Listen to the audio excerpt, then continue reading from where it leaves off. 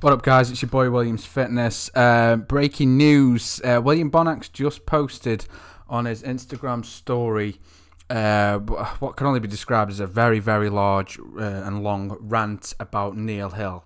Now, Neil Hill is uh, William Bonac's coach. He is also Flex Lewis's coach. He has also attempted to coach other people in the past. Um, I made a video not long ago. Um, basically pointing out the good relationship between William Bonac and Neil Hill, and obviously proves um, we don't obviously know what's going on in the background. Now, topics I want to touch on on this is some things that obviously William Bonac has has come out and said. Um, obviously, the first thing I want to touch on is obviously their relationship has broken down really, really badly. Uh, from what I can gather, it's mainly about money. Now, William has gone on to say that uh, Neil Hill was taking 40% of his winnings and bonuses. 40 fucking percent. Now, bear in mind, right, guys, coaches obviously do a lot of work. Now, William in this rant has obviously kicked off and said, no, he doesn't. He was doing nothing. He was asking for pictures, complaining about the pictures and about the lighting and he was paying him like three grand a month to cover his rent or something that he goes on to say in the video. Um, now, 40% of anybody's winnings is a lot. Now, bear in mind that's a lot of pressure on a coach as well because they've obviously got to get that bodybuilder, their their team, to win because obviously if they win, they get more money uh, between them. However, I do think 40% is absolutely fucking ridiculous. Now, maybe when they get to obviously the levels that William Bonac and Shawn Rhoden, etc., are at, there has to be some sort of threshold and some sort of contractual agreement where they do pay a specific fee, maybe monthly or yearly or seasonally, however you want to put it and then they do take a small fee if they win. So it's a bonus all round. So if you win the Mr. Olympian, you get half a million dollars. Yeah, maybe your coach should should get a kickback because they did help you get there. So obviously, you know, guys, everybody knows William Bonac is, is my like fan favorite. I've I've always loved William, um, and he's always been um, the guy that I've I've always followed uh, and loved. Um, so I can't I'm obviously taking a lot of it with a pinch of salt. He's obviously very, very pissed off with the whole money issue. So I don't think it's it's too fair on Neil. I don't know Neil, and uh, you know I do speak to William, um, so I'm not just going to jump out there and put put Neil on blast. But I do think 40% is an absolute joke, especially when Williams um, he hasn't exactly won that many shows. So obviously he's not got that much faith in Neil as a trainer. Um, and another thing I want to touch on is the fact that William did say that Neil does a lot of um, slagging off. And what I mean by slagging off is basically just talking shit about Flex Lewis. Oh, Flex hasn't paid me, doesn't do, do you know, um, and just going on and on about how how he badmouths uh, Flex Lewis to William and he, and William obviously goes on to elaborate. Well, if you can do that and you can talk shit about your most winning athlete who created your name, and William goes on to say that he created you, Neil. You didn't create him. Uh, in my personal opinion, opinion, it's it's a symbiotic relationship with a coach. Um, obviously, yes, you are doing the work in the gym, but through the guidance of a coach and a trainer, they do your drug protocol. And yes, a lot of drugs. They do your protocol. They do ask for pictures. I do know a lot of professional online coaches. I know, um, and I speak quite frequently to uh, Francis Diet uh, and several other people and it is that it does have to be a very symbiotic relationship. You can't just say, "Oh, you're not doing anything for me." Because otherwise, if that's the case, you wouldn't have been paying these fees for years and years and years. Obviously, each year, William probably should have sat down with Neil and said, yeah, come on, what the fuck, 40%? We haven't won X amount of shows. We've competed in 10, we've won two. Do you know what I mean? So he should be like, and Neil should be saying, look, maybe that's on me as well. Neil should have obviously sat down with William and said, let's renew your contract um, or just stuck to monthly fees with a with a bonus clause, and obviously reduce the bonus clause until he starts getting him on a winning performance. Now, what I want to touch on with the whole forty percent thing is if if Williams' contract's forty percent, William does go on to say he spoke to other athletes. And their deals were twenty percent, and they even said to, to William, "Yo, what? Why the fuck are you still with him? Why why are you still with him then if you're not happy with the 40%? What's Flex Lewis's bonus? Is Flex Lewis giving Neil Hill 40% of those earnings? Now, bear in mind, Flex Lewis has got a lot of deals. He's got his own gym, the Dragon's Lair. You know, he's not short of money. But is that the same deal? Because Flex Lewis is a seven time Mr. Olympia champion. How much did Neil get paid? I mean, it's none of my business, but if that's the contract he's got with, with William, obviously I've got to touch on this subject. I've got to get this story out there. Uh, it does open a lot of uh, discussion about what actually goes on in the background because I did, like I said, and I'll be humble about this, I did a video just a few days ago about William and how he had a really good relationship with Neil Hill. So, foot in mouth moment for me. Clearly, that wasn't the case. So, you know, I'll be humble. I'll sit back and take that on the chin. But, you know, I do agree with William on some aspects of it. I don't on others. I do think every pro bodybuilder should have a coach. I just think you need to find the right coach. Now, William touched on another part of of this, um, and I, well, I will call it a rant. It was it started off as like like a, a public service announcement for its fans and then he seemed like he just needed to get a lot of shit off his chest, and he did that. So, what I want to touch on is William did make a very good point of um, he should be paying that to his training partner, the 40%, not to Neil.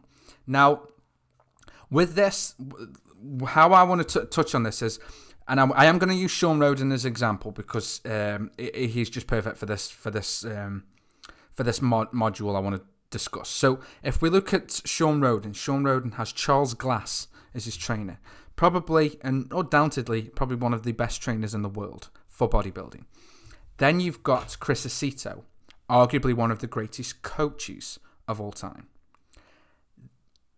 What Shawn has done is he's gone, right, you're the best coach in the gym you're the best coach outside of the gym when it comes to diet, drug protocol, uh, lighting, where he needs to be working on.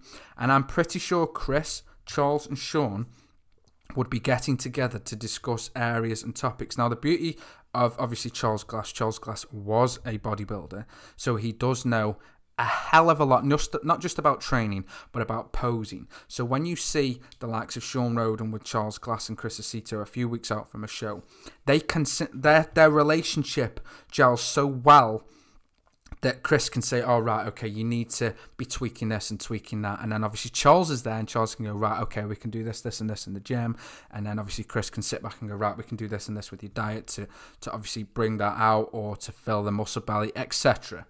So I do agree with William in a way that yes, the person you train with and who motivates you and pushes you in the gym should be getting paid. If it's a friend, and I know William trains a lot with uh, one of his friends, I'm pretty sure he's part of the Wowen um, uh, group as a, an athlete. I'm pretty sure. I'm not too sure the guy's name. Seems like a cool dude. He's uh, always in a lot of um, William's Instagram stories. But again, if you've got an online coach and they are not motivating you enough, you you're losing a relationship with them. I don't think you can throw that back at them after the fact. It's a case of you need to sit down with that coach, air these thoughts and opinions out, renew contracts, build bridges, whatever it's got to be, or just go your separate way. Now, William is a hard worker, he's a hard grafter, and he's come a long way. Neil Hill does have a good knowledge and a good foundation and a good footing in the industry. I think this is just highlighting a lot of things that are going on behind the scenes that we're that none of us are really aware of. Um, I have included uh, some clips, obviously, of the rant in this video. So obviously, a lot of it's been chopped up to put the the key moments in. I just wanted to get the story out there because it seems at the minute this year is just going to shit for bodybuilding. It's crazy, absolutely crazy. I had a good and bad reaction to the Dexter Jackson video. I think people just saw the title and thought I was hating on him, and I wasn't. Um, everybody's saying, oh, he's going to be top five because he isn't there, he isn't there, he isn't there. And that wasn't my point. My point is, if Phil was there, if Shawn was there, if Big Ramy was there, no, Dexter Jackson would not be in the top five, and probably take Big Ramy out of the situation because I'm not sure he can make a top five just yet. Obviously, he's not coming back till next year, and that's what I'm waiting on for him. So, comment below, guys. Do you think Williams just getting it off his chest? Do you think this raises a huge point in bodybuilding? Do you think a lot of these athletes are not communicating with each other, even if they are under the same coach? Another thing I want to touch on is obviously in the video, um, William gives us a tour of his, his house, his flat. I'm not sure what kind of style of house it is. And it was quite humbling to see. The guy has earned half a million in the last five years. Um, it was very humbling um, with respect. He pointed out that obviously uh, his living conditions compared to Neil Hill, who he's paying $3,000 a month for, is living in essential luxury compared to obviously William. Now, I don't know if Neil's got wife, kids, whatever. I know William's got a family. I know he's got a family. I know he's got kids. I know he's got people depending on him financially. So 40%, absolute piss take. Um, I, I feel for William. I do feel for William. I think it's built up and built up over a long time. Um, and I think Neil has obviously been riding a lot on Flex and William and profiting. Now, again, it's really hard to to take a side, but when you can see how sincere Williams been and how forward he's been, showing where he lives, etc., it's hard not to sympathise with him. It really isn't. It's it's hard to to not see like shit. Dude, I mean, we know how much you just won from this show, we know how much, and then you realize and you sit back when people have started taking their bit away from you that you, you know, you owe your coach, you owe your um, you, you fuck whoever, your gym fees, your travel expenses, hotel expenses, food expenditure. What are they actually left with? It's it. My mind is boggled by this, and it's it's. I just love the fact that Williams brought this to light. Um, it's probably not been the best way how he's approached it, but he's been humble in how he's done it. It's just fucking crazy, absolutely crazy, and and 40% is ridiculous. Absolutely ridiculous. Surely they should have he should have stipulated in the contract, right, if you get to this place, we'll do this amount. If I get you to this place, we'll do this amount. Because again, it's symbiotic.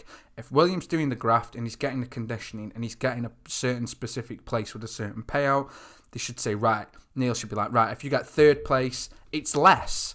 Second place, it's slightly more. First place, it's a bit more there should be a specific percentage on his placing and how much profit that William has made. Because, well, not even profit, essentially, that's his salary. You know, these supplement companies aren't paying these guys silly amounts of money. Don't think for one second that any bodybuilder is getting ridiculous amounts of money from a supplement company being sponsored by them. They really aren't. Unless they own the company and it's doing well, they're not making that much money from these supplements or a lot of these seminars and these tours. That's why they have to say when Phil comes to the UK, he has to make it worthwhile. He has to go to you know 10 15 different gyms do 10 15 different talks you know shop openings gym openings etc because it has to be worthwhile. They're only getting a few grand at each place. They're not making thousands upon thousands. They're bodybuilders. They're not pro football players. They're just bodybuilders. Our sport isn't quite there yet so, honestly, comment, guys. What do you think? This is fucking crazy. Drop a comment.